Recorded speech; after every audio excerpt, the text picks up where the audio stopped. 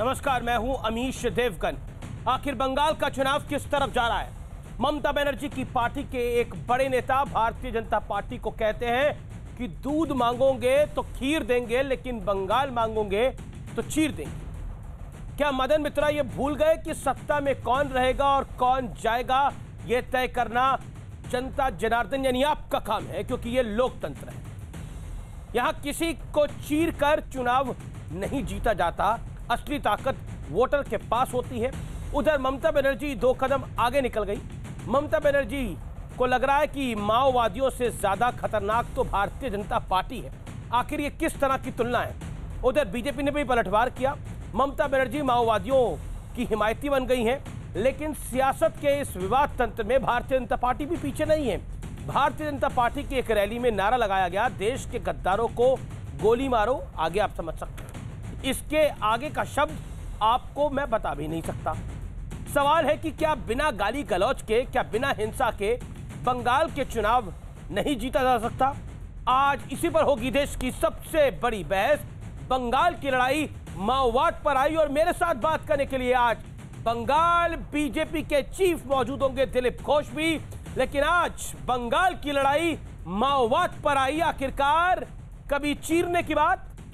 कभी माओवाद की बात, कभी गोली मारने की बात। बंगाल का चुनाव किस और जा रहा है?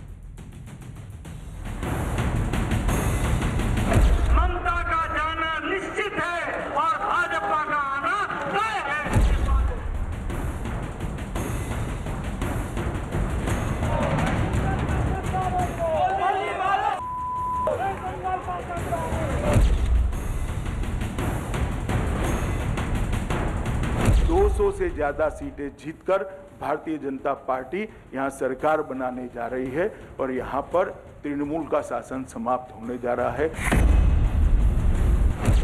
दूध मांगो तो छीड़ देंगे। अगर बंगाल मांगो तो छीड़ देंगे।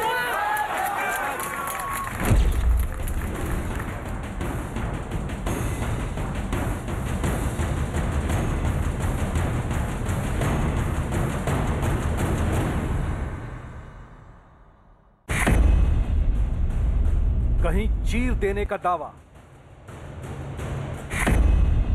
कहीं गोली मारने की बात और अब तो खुद पश्चिम बंगाल के मुख्यमंत्री ममता बनर्जी कह रही हैं कि माओवादियों से ज्यादा खतरनाक तो भारतीय जनता पार्टी है মাওবাদীদের থেকে বিজেপিরা আরো ভয়ঙ্কর আগে তো জঙ্গল মহলের মানুষ আপ- রাস্তাঘাটে চলাফেরা করতে পারতেন না उधर बीजेपी दावा कर रही है कि ममता बनर्जी माओवादियों की हिमायती बन गई है। वो माओवादियों को अपने चुनाव प्रचार में लगा रही हैं। कि माओवादियों को उन्होंने जमानत कराकर अपने चुनाव प्रचार में लगा लिया है। तो अब ये कोशिश कर, कहना चाहती हूँ देश की जनता से कि माओवादी बहुत अच्छे हैं। ममता जी का सर्टिफिकेट भारतीय जनता पार्टी के लिए ज़रूरी नहीं है। देश की जरा बंगाल चुनाव का स्तर देखिए। सुनो बीजेपी वालों दूध मांगो तो खीर देंगे अगर बंगाल मांगो तो छीड़ देंगे। ये तृणमूल कांग्रेस के बड़े नेता मदन मित्रा हैं जो ममता सरकार में परिवहन मंत्री भी रह चुके हैं। ये दावा कर रहे हैं कि बंगाल मांगा तो बीजेपी वालों को चीर देंगे लेकिन ये सियासत एक तरफा नहीं है। बीजेपी की रैली में क्या नारा लगा? जरा वो भी सुन लीजिए।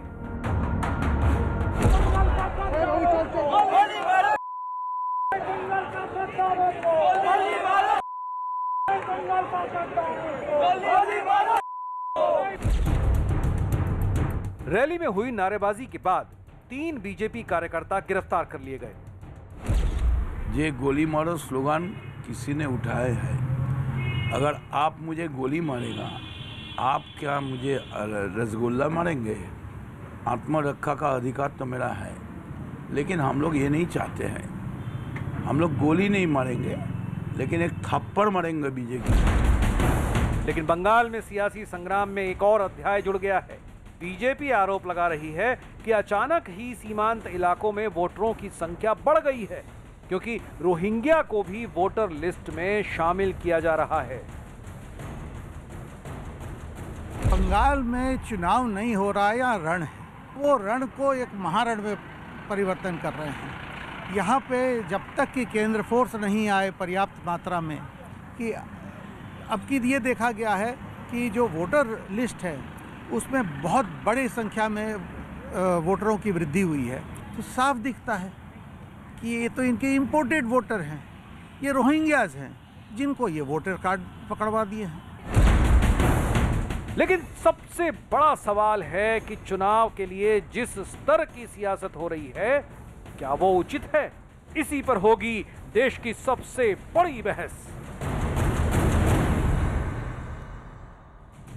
तो यानी चीरफाड़ और उसके साथ बहुत कुछ। और अब बात विश्लेषण की। बंगाल में के चुनावी चरित्र का विश्लेषण सुनिए। विकास का मुद्दा किनारे गाली गलौज के हर कोई सहारे। टीएमसी नेता बोले, बंगाल ने बंग बीजेपी ने अगर बंगाल मांगा तो हम चीर देंगे। डीजे ने कहा, बीजेपी माओवादियों से ज़्यादा खतरनाक है। माओवादी देश के खिलाफ बीजेपी से तुलना ठीक नहीं है। बीजेपी की रैली में अपशब्द वाले नारे उनके कार्यकर्ताओं ने लगाए। चुनाव कौन जीतेगा, ये जनता तय करेगी। चुनाव के लिए विकास से ज़्यादा गाली गलौज क्या ज़रूरी है? आज हम ये सवाल उठाते हैं और साथ ही साथ रोहिंग्या का मुद्दा एक बार फिर इस चुनाव में गरमरा